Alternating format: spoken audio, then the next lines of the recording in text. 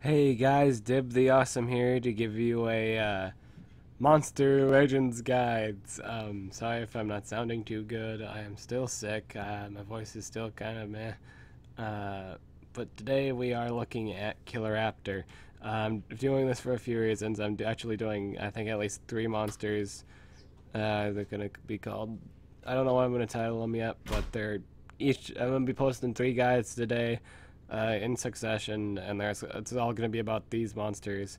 Uh, uh, first off, what I'm doing Killer Raptor is uh, well, it's it's one of my one of my uh, members' favorite monster, uh, and he kind of requested it, and I said, yeah, why not? at least that's his favorite Earth monster. here, one second.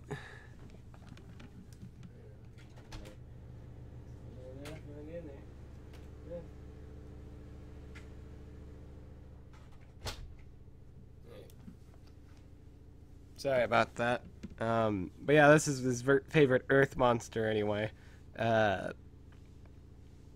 and uh, there's a lot of people that don't like this guy, and I don't know why. Uh, people say he's not great. Uh, people, other people say he's just terrible. Uh, I don't know why they say that. Uh, he has a really great, he has great base stats, and his trade is amazing, and his move sets are pretty good. I think people just don't like just don't like him a whole lot, or they uh, they don't they don't think he's that great. Uh, I think it's just because he's old. Uh, he doesn't do AOE stuns uh, or anything like that. He's just pure damage. I think that's why people don't like him that much, uh, which is really weird. You would think people would love this, uh, love monsters with pure attack and high attack stat. This thing has the highest base power in terms of Earth monsters in the game, I believe. Uh, he has a really high power, and I don't know why people just disregard him. Uh, his kit is really good, and I'm going to be talking about it. Uh, so yeah, go ahead and listen to me. Uh, go ahead and disagree with me, or you listen to me, or, or agree with me. I don't, I don't really know. Uh, but this is a guide on Killer Raptor. Uh, so his power, like I said, is 3,553. This is the highest base power for Earth monsters. So obviously you want to make him an attacker. He's obviously attacker, by the way. Uh, his life is 29,858. Uh, this is another reason why I wonder why people don't even like this guy. This guy's base power, I mean, base power in life is pretty bulky.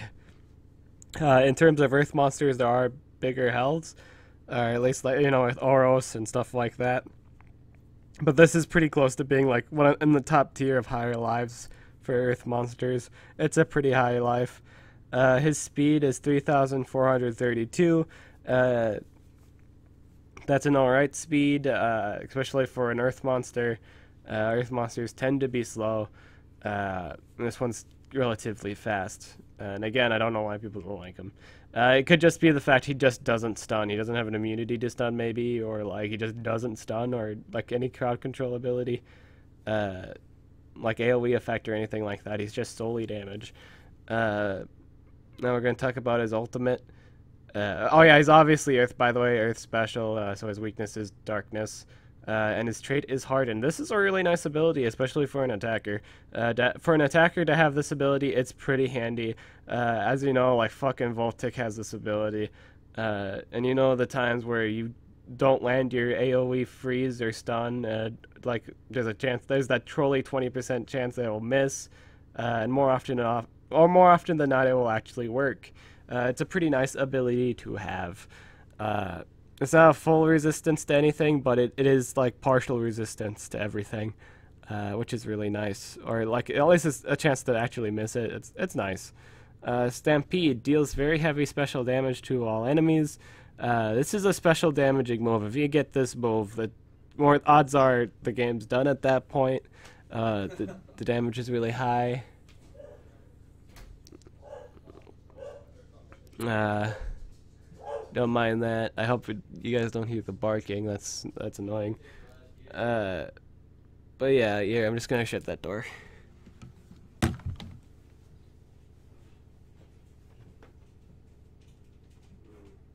Be shut the kitchen door. Don't let Maya down here. All right. Sorry we get about that again. Uh, yeah. but yeah, that's uh, sorry again. Sorry about that. That was just yeah. Uh, that's family and stuff like that. Uh, but yeah, this is a high damaging ult. Obviously, this doesn't do anything, but with ults like these, you're just more so look at the high end damage. Uh, you don't really need an effect at that point if it's going to kill everybody. uh, it's just a really high end damage. Uh, and keep in mind, it is special damage. It is a special damaging move. Uh, so we're gonna we're gonna skip the first part because it's not that important. We're gonna go on to a second uh, group. Uh, deals moderate special damage, gains double damage, requires cooldown. So basically, um, it does exactly that. It gives you double damage. I recommend this move. Uh, this is why I wonder why people don't why don't why people don't like him really. Uh, because you know with the double damage it's really nice. Uh, obviously, uh, anything that's not going to be like Earth is just going to take a lot of damage. Uh, I think it's really nice to have it. I, I, I at least think it's going to guarantee a kill on something. Um, following up the next turn. Uh, Triceratops Control. This is a 35 damage AoE. Uh, I would like to you to keep in mind it's a one turn cooldown AoE. This is pretty important. Uh, take note of this. Please take note in the fact it's a one turn cooldown AoE and it's 35 damage. Uh, that's the base acceptable damage for AoEs. 35 is the base. Uh, it's not as good as 45 damage, but 45 is the highest. In terms of AoE, it's the highest, more so at the higher ends of AoEs uh, or second, at least second, because there are 50 level 50 uh, power uh, AOE's walking around. Some sometimes it depends on the monster, but uh, 35 AOE is an okay AOE power. Uh, and keep in mind, it is on a one turn cooldown. Uh, Savage slashes. this deals heavy earth damage, requires cooldown.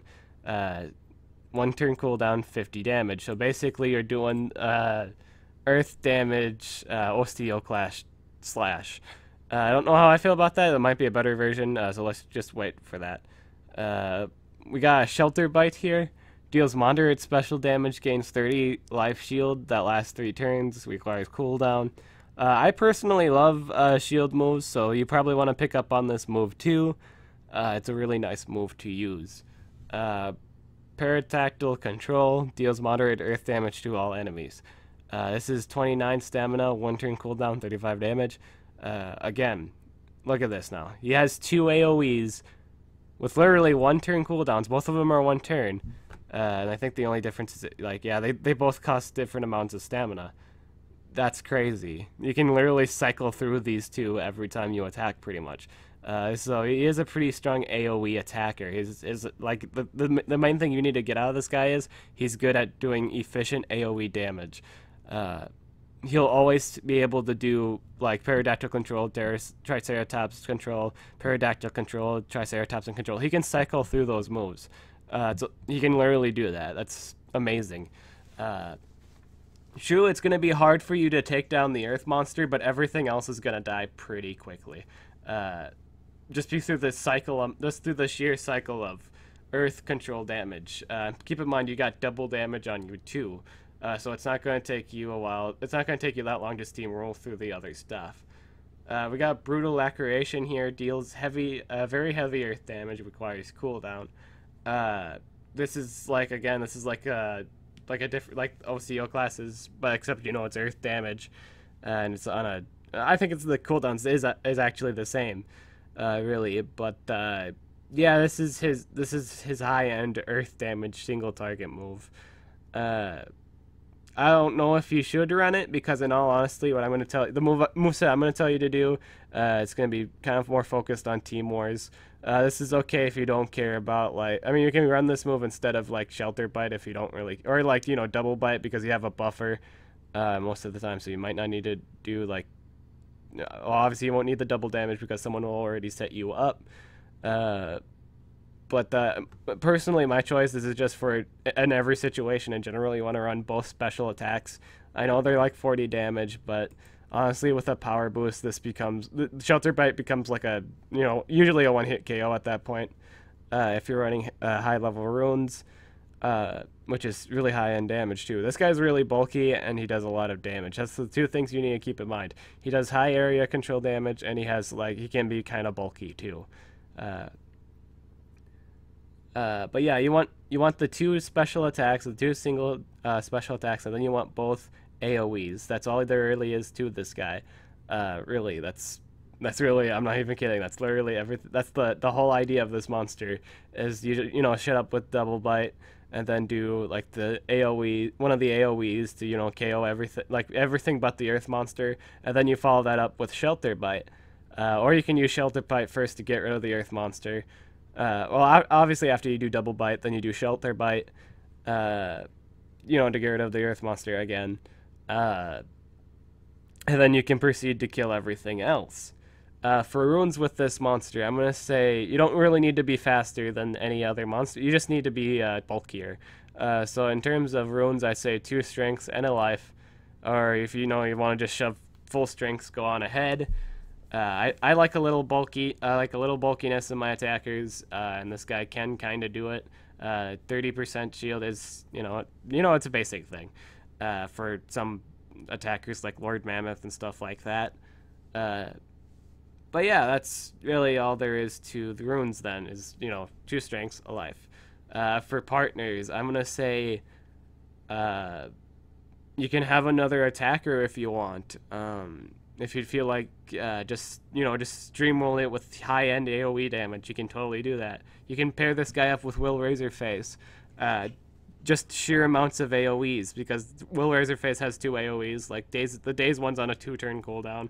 Uh, I always find those AOE's they basically do the same amount of power, uh, and I always found like that was always enough, uh, especially if you have double damage on you. Uh, Kalik is always a nice partner to have, um, just so you for sure don't get frozen or stunned. Uh, Cavenfish, uh, uh, Frostbite works really great.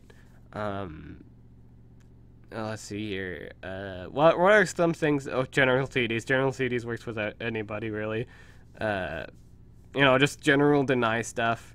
Uh, this guy really doesn't need much to steamroll. Uh, if anything, he you just you just need someone to take care of like the other Earth monster at that point. So any dark partner would work. Yeah, I'll be right back.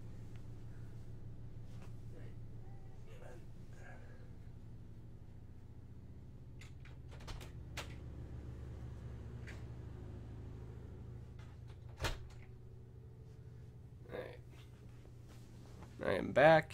Um, and in fact, I think that's all that really needs to be. Well, okay, I, will end with this statement. I think the reason why people don't like this monster that much is because his special damage isn't high. Like, 40 damage is okay, but, you know, I could, you know, there, are, like, uh, Atum, for example, is walking around with 65 damage. Uh, special move. Uh, Osteoclast does special damage too. Uh, single target, high end uh, special target. Uh, obviously, they're just uh, people prefer people don't like shields, uh, which always confuses me because shields can actually save lives, uh, and they more so prefer things that just do stuns or days. I, I guess they just feel like it's more relevant. Uh, maybe they don't like the idea of not having full immunity to stun because then the earth monster is just gonna stun you. Uh, I think I think that's one of the two reasons why people don't like this monster or just disregard this monster. Uh, and I really think you shouldn't because this guy's got good end damage. Uh, he's very good at d- dealing damage and stuff like that. Uh, so that's all I gotta say about Killer Raptor. It's an awesome uh, monster. Uh, it's totally still usable. Don't doubt a monster, even if it's really old. Uh, all it needs is the proper setup, and you're good to go. Uh, that goes for any monster, really, uh, except uh, you know Larger Con and Killer, uh, Killer, not a Killer Abaddon Thunderhair. Uh, those two monsters, I don't think you can do much with them. Uh, but that's all that really needs to be said. I'm Dib the Awesome. I'll catch you guys later.